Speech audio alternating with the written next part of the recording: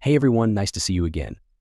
In this movie, we'll talk about everything you need to know about AMC, the market as a whole, and most importantly, you fed your own energy. Powell is now fully bullish, and I have to say that I was wrong. Not a single sign of bearishness can be found. Not everything was very bullish, but we'll talk about it. The dot plot, in particular, wasn't so positive. For example, the estimate for 2025 dropped from 3.6% to 3.9, which means that a rate cut is now priced in. You went from 2.9 to 3.1% over the long term. It's interesting that it went up for the first time in a long time. It was expected to be 2.5% in December, but now it's 2.6% for the long term. It was all go for the Fed, who raised their GDP predictions from 1.4 to 2.1. Also, they changed their prediction for unemployment from 4.1% to 4%. Their prediction for core PPI inflation by the end of the year went up from 2.4% to 2.6. The Fed raised the neutral rate a little today, which is strange but kind of makes sense given the last two inflation reports and the fact that the economy is still growing even though these Fed funds rates are at about 52%. The thing that really got the markets going at least initially was the three rate cuts that are still priced in for 2024 that would essentially be like a cut in July, a cut in September, and maybe then a cut in November. And that's, that's all fine and dandy so short term this year nothing changed which was great because some people were you know pricing in or expecting there to be one rate cut, maybe two rate cuts in 2023 or 2024. And it stayed the same, which was really good. Uh, now, again, your longer term rates, uh, those estimates went higher, which that is not great, but the markets didn't care about that at all, at least so far now. What's, what's actually notable to me is this column right here, the range, so you're looking at. The high, the high dot, and the low dot, like what is the range? So for the federal funds rate, um, back in the December projection, the low dot was 3.9%. By the end of this year, the high dot was 5.4%. So you know on the, the lower side, expecting like six rate cuts on the higher side, not expecting to move. Rates at all well now, the high side is 5.4%. So still not expecting to move rates at least one Fed member on the low side, though that picked up big time from 3.9% to 4.4%. But that did not change the median federal funds rate expected Uh, a rate by the end of this year, which I find interesting. So more Fed officials turned more bearish, but it did not affect the estimated three rate cuts in 2024, which I find kind of wild actually to, to see that big of a shift in the lowest dot plot. The most dovish Fed official just got a lot more bearish, but it didn't move things. So that's kind of the gist of the dot plot. And what happened there now, it was really the press conference that sent this thing home. Now, there's one thing in particular, one thing in particular that was very bullish to paraphrase. Powell said that recent surprises in inflation have not changed the Federal Reserve's outlook.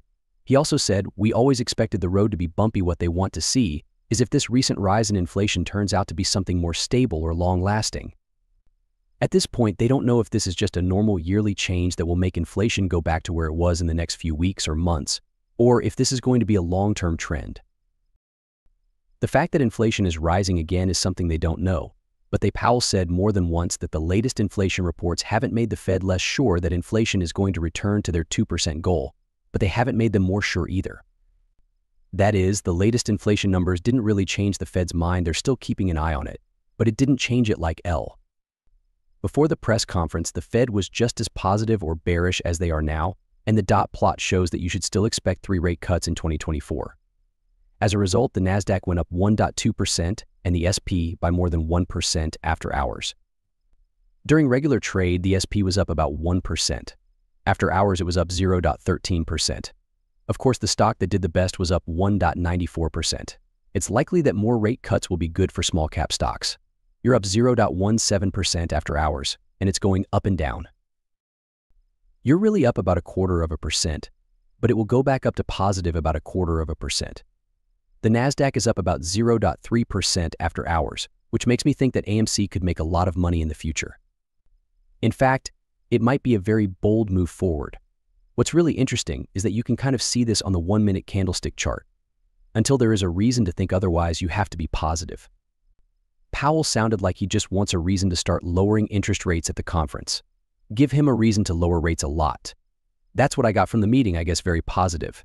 Hit the lows with the market, and you went down with it. The markets then began to rise, and so did AMC stock. However, the stock did not manage to turn green, which I find interesting. Powell changed his mind and now supports the bulls, which I think will be good for AMC. I don't know why AMC didn't rise more today, but their recent media upgrade and missed earnings may have had an effect. However, I expect an increase in AMC going forward. Let me tell you about some important levels to keep an eye on. I'm not sure if this will be a short squeeze or just a straight rise. At the moment, the 50-day moving average, which is lying at around $4.39 per share, is the most important level. It wouldn't surprise me if you broke through that tomorrow. That being said, if you do, it would not surprise me at all. The 100-day moving average is the next level to reach.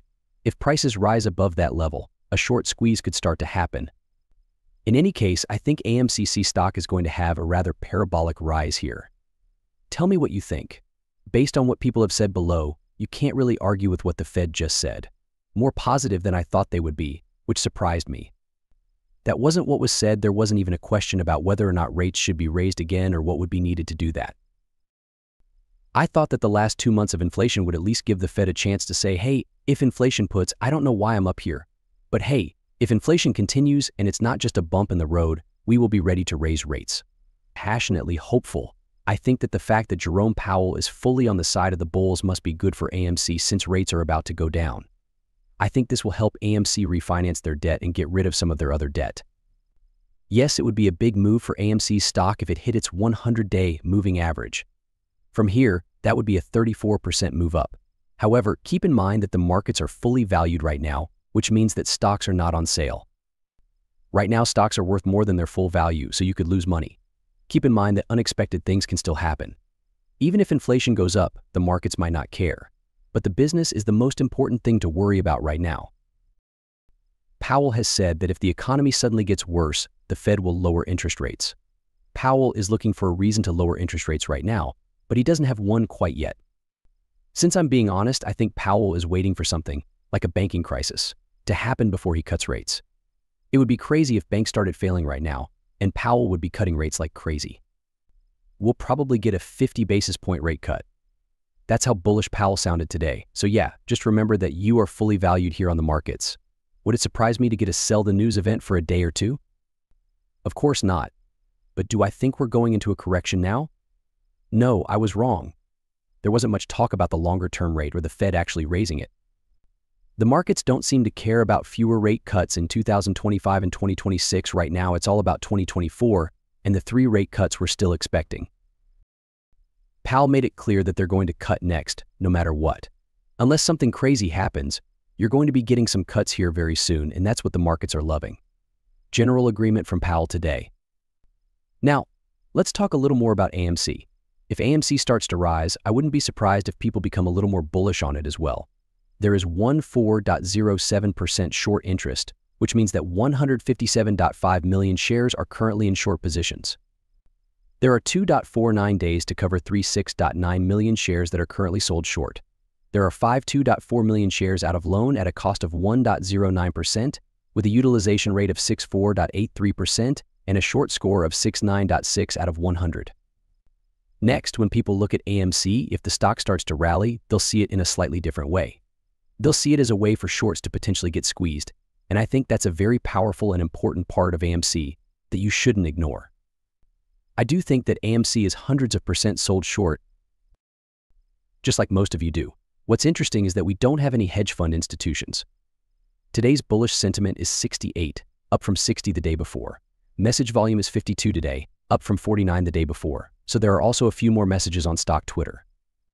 The participation ratio is 54, which is about the same as it has been over the last few days. The stock tracker data for AMC is likely to be similar to what we saw earlier. This moment, about 2,400 calls are in the money, while 42,000 calls are not. The money puts are at about 6,400 and the money puts are at about 16,000, so there isn't much of a change here. However, I think you'll start to see a bigger change there because I think the Russell is about to do really well if we really are going to get some rate cuts soon and the Fed isn't worried about the recent rise in inflation. At least that's what I would expect. The Philadelphia Fed Manufacturing Index and the other one are both set to come out tomorrow at 7.30 a.m. Philadelphia's economy was hurt by dollar amount spent on capital in Philadelphia Fed jobs in Fin Philadelphia Fed jobs. Philadelphia Fed prices paid a SP Global Composite PMI, a Global Manufacturing PMI, and Global Services PMI. So another um, measure of inflation that will be coming out tomorrow. And then you do have Fed Barr that speaks at about noon. Uh, you do get the inflation rate year over year out of Japan that will also be coming out at 7.30 p.m. Tomorrow, nothing that's really going to outweigh the bullishness from PBBL today. But if you do see like services inflation fall, services PMI fall, then you probably get an even larger rally in the markets than you otherwise would. If you see those, those PMIs coming hot, so definitely things are uh, looking good as of right now. And my expectation is for a rally in AMC stock, but again, don't be surprised if we if we do kind of consolidate here for a couple of days as we are bumping up uh, to major resistance levels like 520 on the SP. We're blowing past that uh, 440 on the triple QA. What blew past 205? Any of your technical resistance levels just got blown through today. So let me know what you think about this information down below in the comment section. Let me know your opinions as well down there. Hit the like button. Thanks for watching. But and please tell your friends about the show. Enjoy the rest of your day, and I'll see you next time.